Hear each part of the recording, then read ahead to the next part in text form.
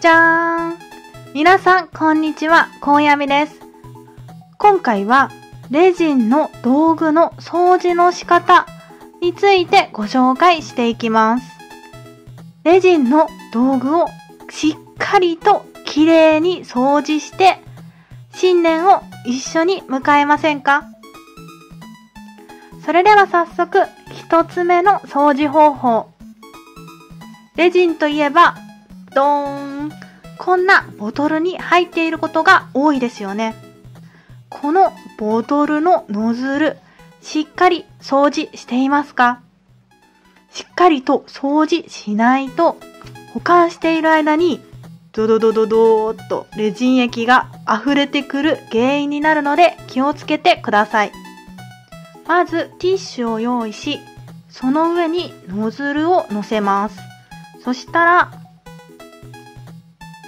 レジンクリーナーをノズルの上に振りかけます。レジンクリーナーをノズルに染み込ませることができたら、ティッシュで包み込んでキュッキュッと拭いていきます。ぐるぐるとボトルを回します。ノズルはここにレジン液がつきやすいので、ここだけ掃除しがちですが、ここにくっついたレジン液がいつの間にか垂れて、ここ、このくびれのとこにたっぷり溜まっていることがあります。ここにレジン液が溜まっていることに気づかずに、キャップを閉めてしまうと、ここからレジン液がどんどんと垂れて、レジン液を置いていた下がレジンだまりになってしまう。なんて恐ろしいこともあるので気をつけてください。で、今普通に蓋を閉めてしまいましたが、蓋を閉める前にボトルを軽く押してボトルの中に入った空気を抜いてあげてからキャップを閉めます。ボトルの中に空気が入ったままキャップを閉めてしまうとこうレジン液が空気に押されて液漏れの原因になるので注意してください。二つ目はこちら着色料です。着色料のノズルきちんと掃除しないとこのノズルのとこにどんどんと着色料が溜まってだんだんと粘っこくなってきます。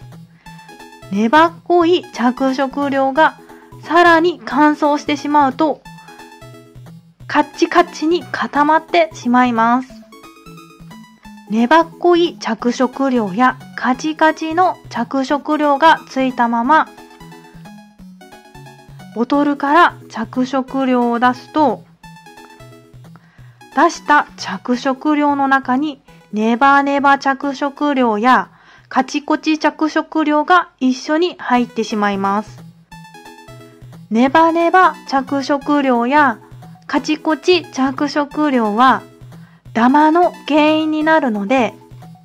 着色料のノズルもしっかりと拭き取ってあげます。もし、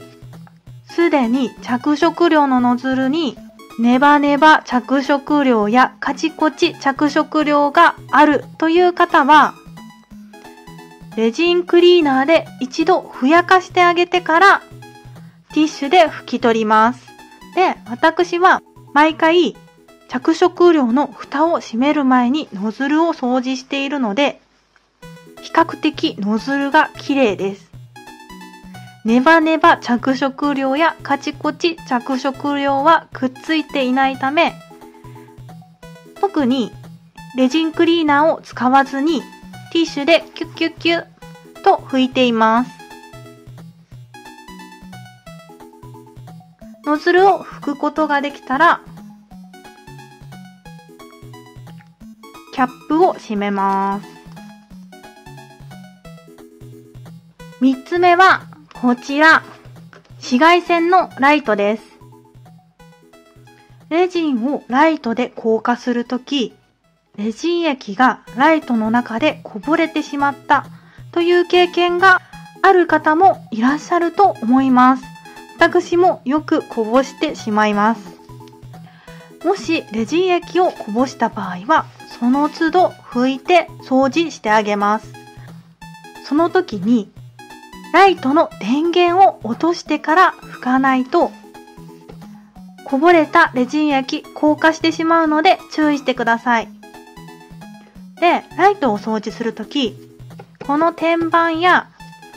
この周りも大事ですが、一番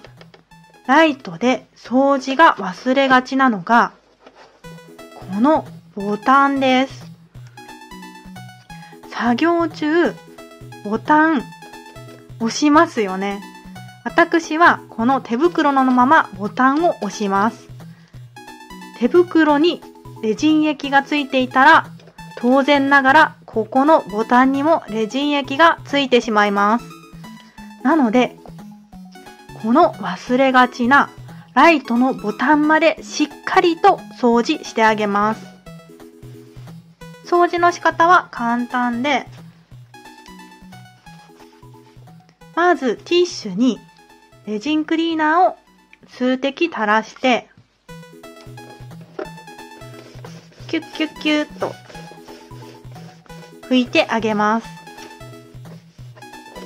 ついでに、この辺も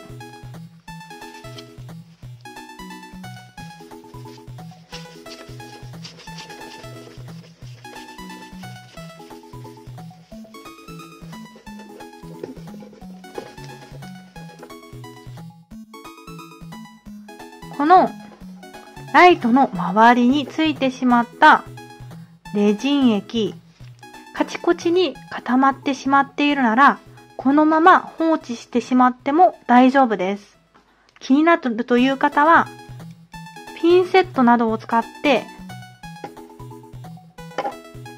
よいしょ。よいしょ。よいしょ。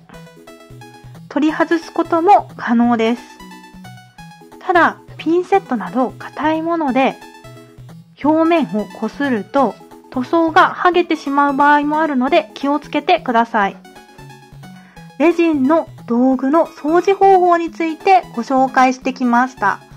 基本はレジンクリーナーを振りかけてティッシュで拭き取るという簡単2ステップです。ぜひ今回の方法を覚えて綺麗なレジンライフ楽しんでください。